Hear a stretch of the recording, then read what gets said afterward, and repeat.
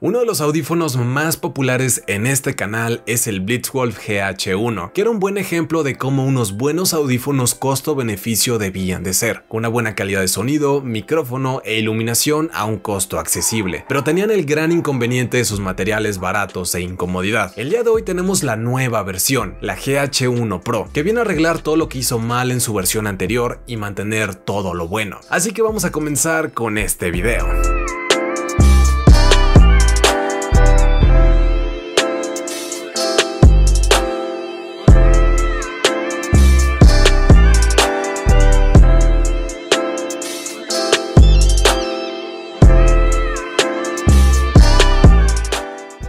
Sean todos bienvenidos a este su canal Hijo de la Guayaba. El día de hoy en la sección de audio tenemos el revisado de unos audífonos muy interesantes, que vienen a ofrecer audio 7.1 emulado, iluminación RGB y una buena comodidad. Todo esto a un precio muy competitivo de 650 pesos mexicanos o de 31 dólares estadounidenses. Si a alguien le interesa adquirirlo, dejaré un enlace de compra en la descripción de este video, además de un cupón de descuento para que lo puedan conseguir un poco más barato. Así que vamos a pasar con su desempaquetado Vendrá una caja de color blanco con verde. En este tipo de cajas suelen llegar otros productos de la marca Blitzwolf. Lo único que vendrá será el modelo del producto en su parte frontal, por lo que vamos a comenzar a abrirlos. Lo primero que tenemos es el papeleo, con un manual de usuario y una tarjeta de agradecimiento. A continuación solo quedará el headset, que viene envuelto en varias bolsas de plástico, por lo que será necesario cortar una de ellas antes de usar los audífonos. Su diseño es muy al estilo gamer, utilizan muchos ángulos, materiales y texturas para dar esta apariencia futurista y agresiva. Los materiales son totalmente de plástico, pero de mejor calidad que otros audífonos de Blitzwolf. Además que su calidad de construcción se siente mucho más sólida. Para nada su calidad es excelente, pero sí son mucho mejores que las versiones GH1 y GH2. No rechinan ni hacen ruidos raros al manipularlos o al traerlos puestos. Su diseño se conforma de un gran plástico negro para toda su parte exterior, mientras que en su parte intermedia se encuentra la tapa, que la conforma un plástico gris, uno plateado, una malla y un plástico transparente. En ella se encuentra el logo de la marca, su nombre y un área iluminada por RGB. Lamentablemente no es configurable y solo tendrá un efecto de rotación entre colores. No es la iluminación más vibrante o brillosa, pero da un bonito detalle de color al headset. Pero en caso de que no te guste, se puede apagar por completo desde el control que se encuentra en el cable. En este control podemos modificar el volumen de los audífonos, apagar la iluminación RGB y silenciar el micrófono. Esta versión solamente se conectará mediante un conector USB a nuestra computadora, pero hay otra versión que viene con el USB y conector de 3.5 milímetros separados, útil para conectar a mandos, teléfonos u otros dispositivos. El cable viene recubierto en tela para su mayor durabilidad y se ve de excelente calidad. El otro extremo del cable irá conectado al audífono izquierdo y aquí también se encontrará el micrófono, el cual se puede retraer hacia arriba en caso de que no lo vayas a utilizar. En la zona de las orejas contamos con unas almohadillas de piel sintética circulares, que son muy cómodas y suaves. Al subir un poco encontraremos los detalles en plástico cromado donde se extiende la diadema. Arriba de esto encontraremos la diadema superior, que es totalmente de plástico negro con la almohadilla de piel sintética en su parte inferior, que es muy similar a la que están utilizando en las orejas. Sus opciones de ajuste y ergonomía son muy limitados. Los dos únicos ajustes que se pueden realizar son los siguientes, extender la diadema y la flexibilidad que tiene. Con estos dos ajustes podemos acomodar a nuestra anatomía y dejarlos lo más cómodos posibles. No contamos con los ajustes en el plano horizontal o vertical como en otros audífonos. Sin embargo, no tuve ninguna queja en este aspecto. Pude dejar perfectamente a mi talla y disfrutar de más de 3 horas de gaming o trabajo sin que me dolieran las orejas. Pero después de la cuarta hora comencé a sentir que me aplastaba la cabeza y al usar lentes este dolor aparecía un poco más pronto. No son los audífonos más cómodos del mundo, pero sí mucho mejores a otros que he probado en este rango de precios e incluso de esta misma marca. Estos audífonos cuentan con controladores de 50 milímetros, con una impedancia de 20 ohm y con tecnología de 7.1 virtual. Al usarlos durante un par de semanas puedo darles mi siguiente opinión. Es un sonido que impresiona totalmente por el precio, que incluso puede superar audífonos del doble del precio en calidad de sonido. Tiene el audio que solemos esperar en un headset gamer, con unos bajos muy fuertes para escuchar explosiones, pasos o disparos. Tiene una separación muy adecuada. Podemos saber de dónde exactamente nos están disparando solo al escuchar el audio. Todos los detalles de nuestro entorno son perceptibles con ellos. Tienen un sonido que suele gustar a la mayoría de los usuarios. Para escuchar música y ver contenido multimedia es una historia muy similar. Para los que gustan de bajos fuertes van a disfrutar mucho la calidad de este audio. Su claridad es buena en los medios, pero se comienza a perder mucho en los altos. Estoy impresionado por cómo se escuchan y por lo que cuestan. Si los quieres para jugar, escuchar música o ver películas, no creo que te vayan a decepcionar. Y bueno, este es el audio que pueden esperar del micrófono de estos audífonos y la verdad es que estoy impresionado con su calidad. Yo esperaba un audio decente como el de otros audífonos Blitzwolf y no esperaba una calidad de audio así de buena. Y bueno, este micrófono es perfecto para cualquier llamada ya sea con tus amigos, compañeros de equipo, clases en línea o compañeros de trabajo. Y me atrevería a decir que es una calidad incluso muy buena como para comenzar tu canal de YouTube o canal de Twitch. No tiene reducción de ruido por lo que probablemente estén escuchando a los perros de la colonia, así que esta es la calidad que ustedes pueden esperar de este micrófono. Al final les puedo decir que estos GH1 Pro son una mejora considerable a otros cascos de esta marca. Y es que mejoran en todos los aspectos. Tiene una mejor calidad de construcción,